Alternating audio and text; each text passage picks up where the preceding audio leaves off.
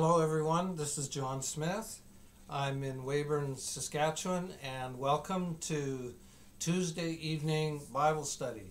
It's uh, 7 p.m. Central Standard Time in this part of the world, and uh, it's it's record-breaking uh, cold temperatures today. Uh, very cold in Saskatchewan, but that's not deterring us, and uh, we're going to uh, resume with the online Bible study. We completed a series two weeks ago and, uh, and took a week's break. And so in the interim, I've been preparing for, and tonight uh, we're beginning a series on the kingdom of heaven or the kingdom of God. I've actually entitled the series Strive First for the Kingdom. And uh, lesson one uh, tonight is called The Messiah and the Message. The Messiah and the Message.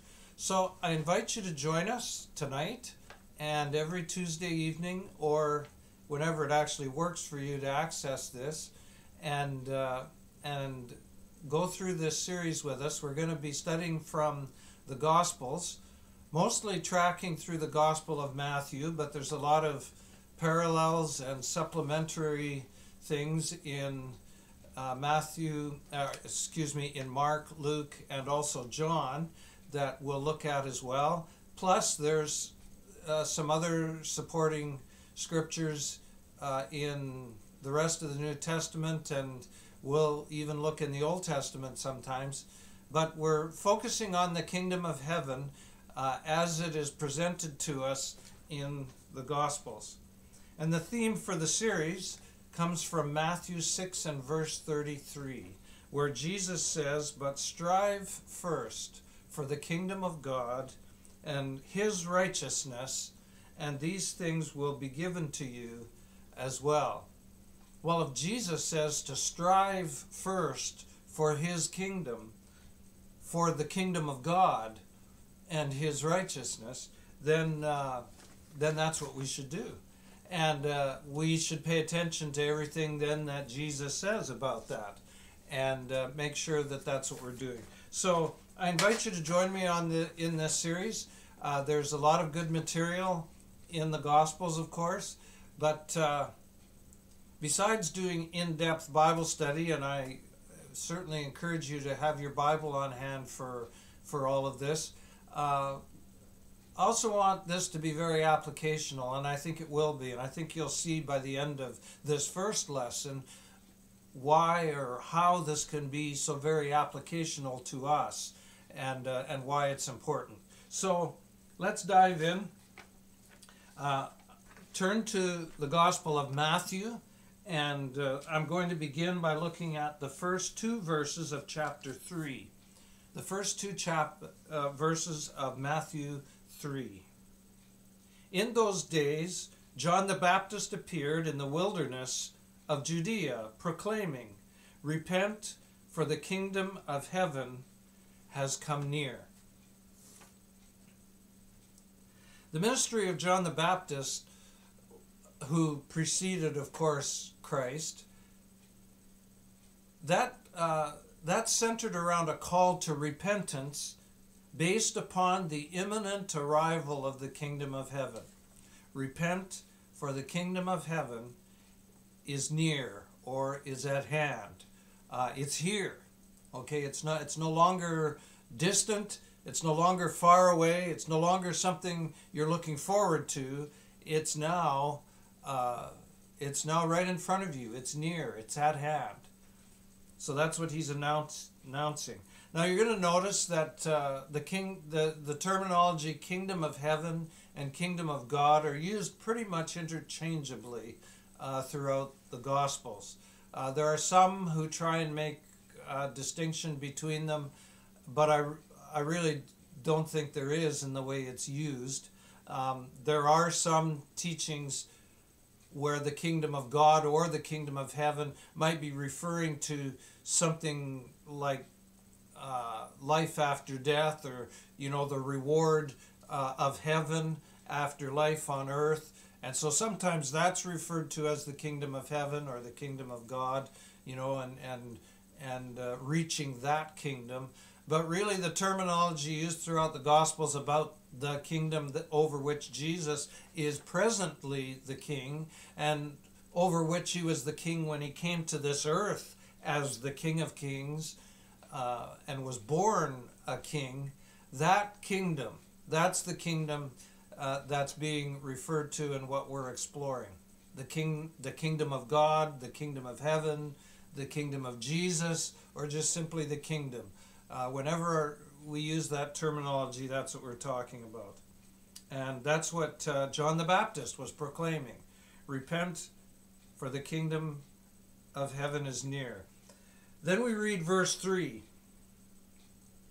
This is the one of whom the prophet Isaiah spoke when he said, The voice of one crying out in the wilderness, Prepare the way of the Lord, make his paths straight.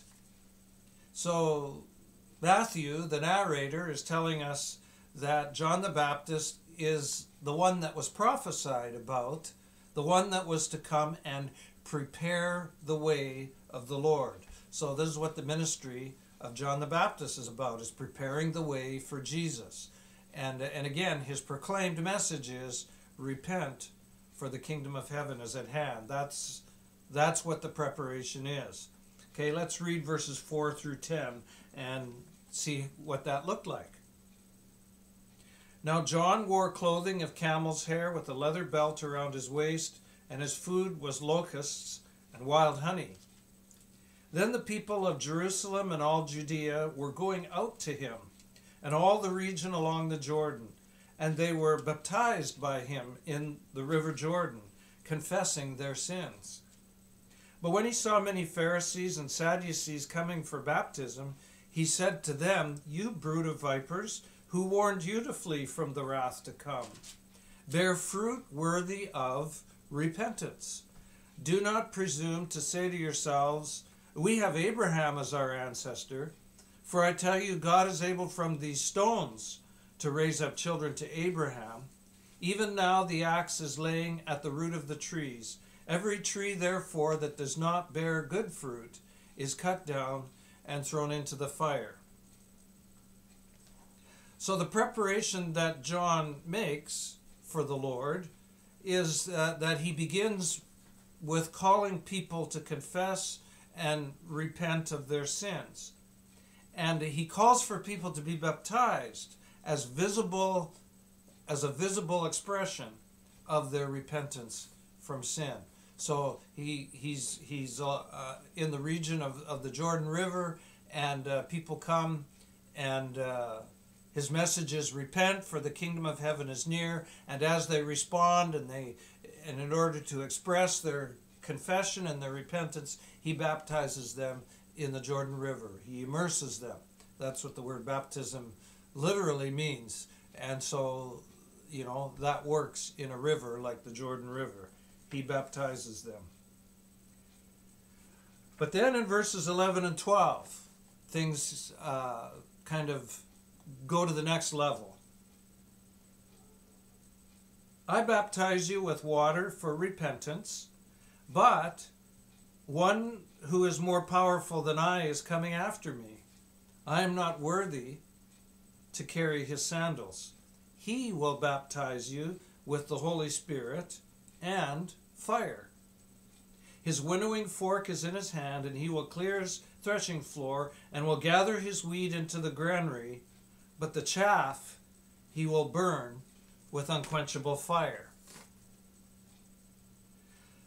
So, as John is baptizing people, you know, they're embracing his call to repentance and coming for baptism, he's also preparing them for the one who is coming after him. Okay, the one who he's not even worthy to carry his sandals, John says. And when he comes, he will baptize with the real transforming agent, which is the Holy Spirit and he'll also baptize with fire, which is the agent of judgment. So he will baptize with the whole he will baptize you people with the Holy Spirit and with fire. And and the if you read the passage carefully, what he's what he's saying is is that some of you will be baptized with the Holy Spirit, and those of you who are not will be baptized with fire. That's you will come under judgment. You you need to be baptized in the Holy Spirit by the one who is coming after me, Jesus Christ. You need to be baptized um, in the Holy Spirit. That's not happening with the baptism of John. Uh, it is a baptism of repentance, but but there'll there'll be a baptism that that Jesus brings, that the one who's coming after John, the one who's more powerful, brings, that will be a baptism of the Holy Spirit. They need that baptism, uh, but he's also bringing a baptism of fire. So he's going to gather the wheat into his barns, into his granary. That's those are the ones that are baptized with the Holy Spirit. But then there's going to be the chaff, the ones who who who don't come and are not gathered uh, together and uh, as wheat uh, into the granary, they're going to be burned with fire. And so that's the baptism with fire that's being talked about. Okay, uh, now let's read verses 13 to 17. Then Jesus came from Galilee to John at the Jordan to be baptized by him. John would have prevented him, saying, Well, I need to be baptized by you, and do you come to me? But Jesus answered him, Let it be so now, for it is proper for us in this way to fulfill all righteousness. Then he consented. And when Jesus had been baptized, just as he came up from the water, suddenly the heavens were opened to him, and he saw the Spirit of God descending like a dove and alighting on him. And a voice from heaven said, This is my Son, the Beloved, with whom I am well pleased. Wow, this is an amazing uh, revelation. This is now Jesus stepping onto the scene. J- uh, John the Baptist has been preparing the way and preparing people for the arrival of Jesus, the beginning of, of, of Jesus' ministry. Well, now Jesus is ready to begin and he arrives on the scene. And uh, uh, so uh, John's ministry has reached a climax. And, uh, and, and so Jesus is asking to be baptized. Jesus' baptism is punctuated with the anointing of the Holy Spirit and the affirmation of the Heavenly Father. Okay, the anointing of the Holy Spirit, that's what I'm calling it, is the is the dove. The it was a visible manifestation of God, uh, the Holy Spirit descending and alighting upon Jesus. So we have the Holy Spirit. We also have the the Father the voice, the, the audible manifestation of God was the Father, the Heavenly Father, saying, This is my Son, in whom I am well pleased. And of course, the third manifestation of God is Jesus Himself, who is standing on the bank of the Jordan River in human flesh, uh, dripping wet from the waters of the Jordan River. He's, he's just been baptized and uh, and so we have that manifestation of God. This is a very profound manifestation of God because we have the Father and the Son and the Holy Spirit all a part of this scene. Very powerful, very significant. Not only that, but the baptism of Jesus, as we see it here, is also the precedent setting scene for the Christian practice of baptism that would proceed, would be initiated and would proceed uh, from the day of Pentecost in Acts chapter 2 as the expression of faith, confession, and repentance in response to the gospel invitation. You might remember that in Acts chapter 2, the people asked when Peter preached what we often call the first gospel sermon, um, the people asked, you know, men and brothers, what, what must we do? And Peter's reply in verse 38 is this Repent and be baptized, every one of you, in the name of Jesus Christ, so that your sins may be forgiven, and you will receive the gift of the Holy Spirit. And so, baptism, following the really the example of Jesus, was then to be the Christian response, the believer's response to the gospel invitation. When someone came to believe, then they were called to be baptized and they would receive the gift of the Holy Spirit, just like Jesus was anointed, you know, the descending and alighting on him of the Holy Spirit. The, the Christian as well receives the gift of the Holy Spirit uh, when they are baptized. Very significant. So, the kingdom of heaven, the kingdom, has not only drawn near, it has arrived now in the person of Jesus, the Messiah. He's now actually showed up and identified himself, really for the first time, uh, to the public. And, uh, and he did it by coming to be baptized by John, who was uh, the one who was preparing the way. And so, uh, in the next chapter of Matthew, chapter 4, uh, before Jesus actually launches into his active ministry, he, uh, he goes for a fast in the wilderness for 40 days uh, in preparation. And then, starting in verse 12 of chapter 4, then he begins his public ministry. And so let, let's go to that. You know, John, John's ministry, the, the summary message uh, that Matthew reports to us of John's ministry is John proclaiming, Repent, for the kingdom of heaven is near. Well, listen to this about Jesus. Uh, we're going to read 12 to 17, those verses from Matthew 4.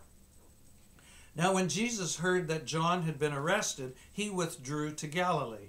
He left Nazareth and made his home in Capernaum by the sea, in the territory of Zebulun and Naphtali, so that what had been spoken through the prophet Isaiah might be fulfilled. Land of Zebulun, land of Naphtali, on the road by the sea, across the Jordan, Galilee of the Gentiles. The people who sat in darkness have seen a great light, and for those who sat in the region and shadow of death, light has dawned. From that time, Jesus began to proclaim, Oh, listen to this repent, for the kingdom of heaven has come near. Well, isn't that interesting? The same summary statement describing the theme of what Jesus is proclaiming as he launches into his ministry is that it's the same summary statement that we had for John the Baptist's uh, proclamation Repent, for the kingdom of heaven is near. And actually, this, this is continues to be uh, the focus of his message. Okay, this is the focus of his message. Uh, there were healings, there were other miraculous working of signs that uh, accompanied Jesus' preaching and teaching. But the core message of the kingdom uh, remained uh, the same. Listen to these uh, other verses, and I'm going to go through them fairly quickly. If you need to pause and turn to each one, go ahead and do that. Later in chapter 4, verse 23, this is in Matthew, Jesus went through Galilee, teaching in their synagogues and proclaiming the good news of the kingdom and curing every disease and every sickness among the people. So he's going through Galilee, do, doing these miraculous signs, healings, but he's proclaiming the good news of the kingdom. Uh, Matthew 9, verse 35. Then Jesus went about all the cities and villages, teaching in their synagogues and proclaiming the good news of the kingdom and curing every disease and every sickness. We find the same thing if we look at the parallels in, in uh, Mark and Luke. Mark chapter 1, verses 14 and 15. Now, after John was arrested, Jesus came to Galilee proclaiming the good news of God and saying, The time is fulfilled and the kingdom of God has come near. Repent and believe in the good news. And then in Luke chapter 4, verses 42 through 44, and this is interesting because in these Matthew and Mark passages, it's been about his ministry in Galilee. But of course, we know he also did significant ministry in Judea, where the city of Jerusalem is. Well, that's what this is about. Luke 4, beginning in verse 42. At daybreak, daybreak he departed and went into a deserted place, and the crowds were looking for him. And when they reached him, they wanted to prevent him from leaving them. But he said to them, I must proclaim the good news of the kingdom of God to the other cities also, for I was sent for this purpose. So he continued proclaiming the message in the synagogues of Judea. So now he's, he's, he's going to be proclaiming the message in the synagogues of Judea, not just Galilee. And, and what is the message? It's what is the good news? It's the good news of the kingdom, of the kingdom of God. The message is about the kingdom. But you know, interestingly, the essence is clearly about Jesus the Messiah bursting upon the scene and filled with the Holy Spirit and the power of God and working miracles and, and showing people who He is. He is the Christ, the Messiah. That's, that's what the message of the kingdom of heaven is. When it says the kingdom of heaven is near, it means the king is here. Jesus is here. So there are two realities for application here that, that I want to, to put forward to you. And uh, and and that's that's where where my focus is going to be on applying this to my to my Christian faith and to my life as we go through this whole series. Um, that that's why I want to do this series on the kingdom, on strive first for the kingdom. Is uh, is because of these two realities, and here they are. First of all, the good news of the kingdom is that my king has arrived. I have a king. That's the good news of the kingdom. Uh, in December, I did a series of uh, lessons on Sunday mornings for the, the church here in Weyburn on the kingship of Jesus. The king has arrived. My King, Jesus, my King. And of course, being uh, in the month of December, we did talk about his birth. Uh, but really, the focus was on Jesus is my King. And what does that mean for my life?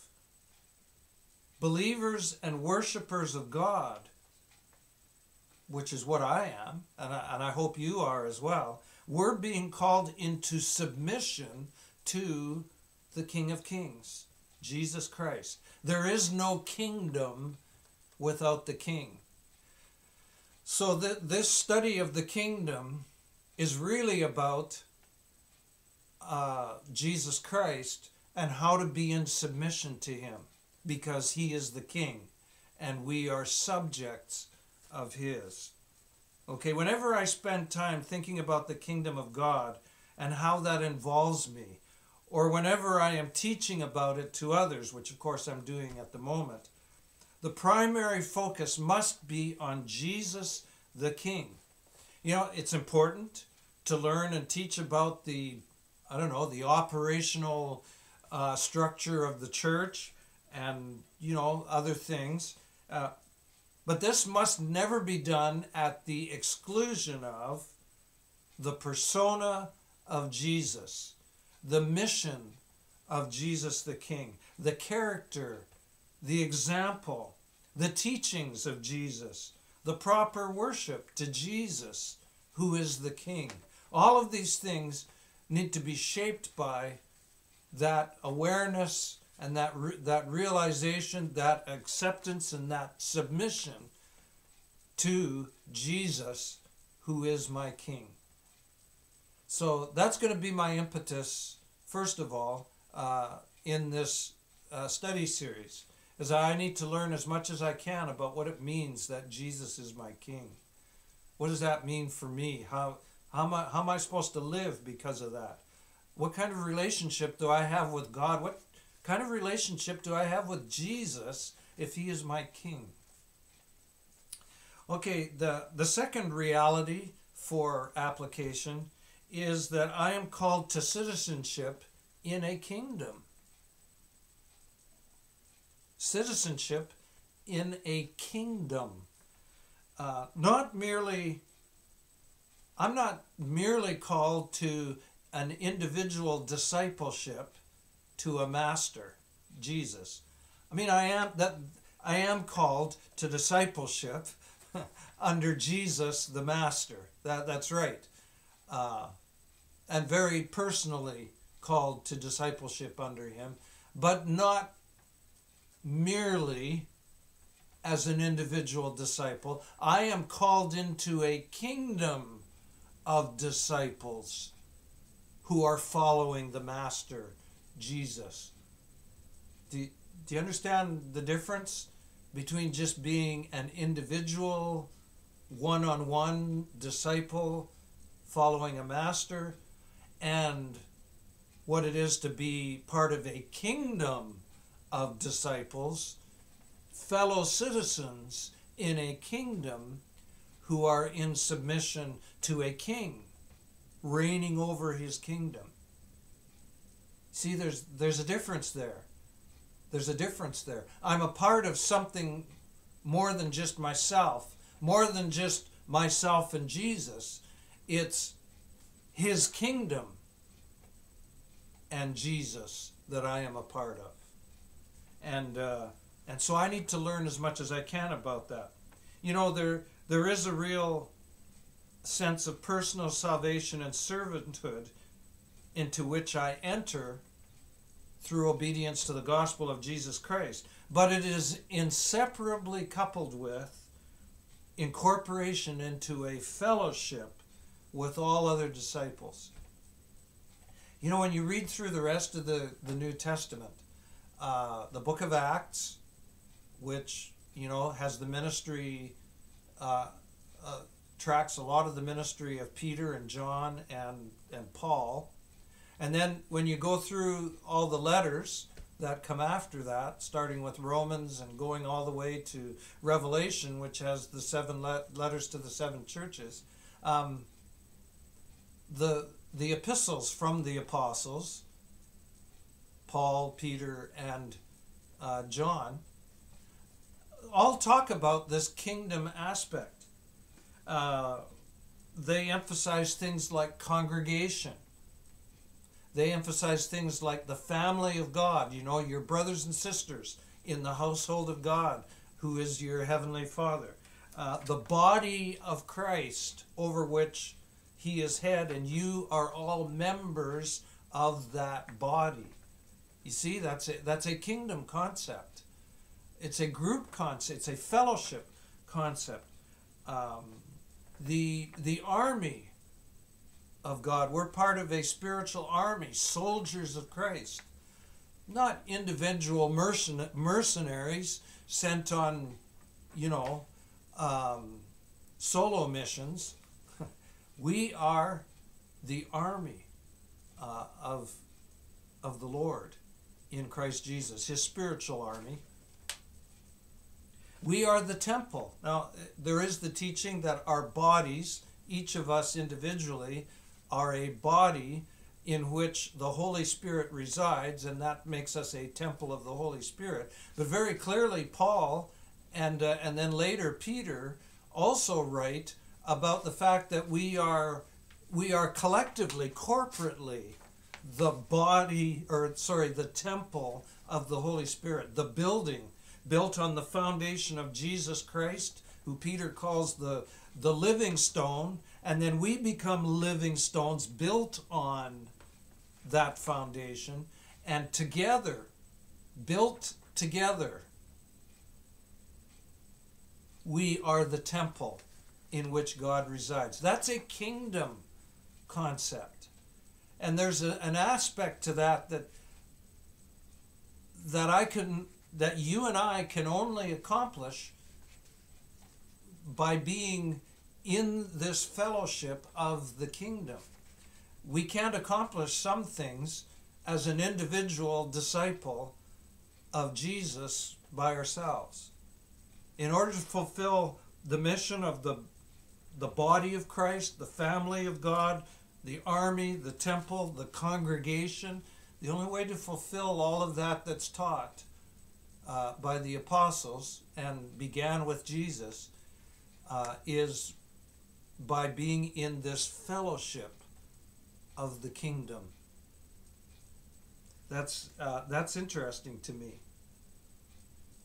And so, uh, and that that's to me that's very clear. And so, one of the things I'm going to watch for, the other reality I'm going to watch for, in in this study series, is uh, what I'm what's being asked of me and what's being asked of us as brothers and sisters, as fellow citizens in the kingdom. How, what is that to look like? What is it to look like? What does it look like for me to belong in this kingdom of fellowship with other disciples? Okay? So, those are the two realities. Jesus is my king, and what does that mean? And I'm in this, I'm a citizen in this kingdom, this fellowship of all the other disciples. What, what does that mean? And what's that supposed to look like? And how am I, how are you and I going to achieve that together? So that's what I think the importance of this study is. And, uh, you know, all the things taught in the in the epistles and in the book of Acts, they begin with what John the Baptist proclaimed and with what Jesus proclaimed throughout his ministry repent, for the kingdom of heaven is near. Please join us every Tuesday evening uh, as we progress through this study series.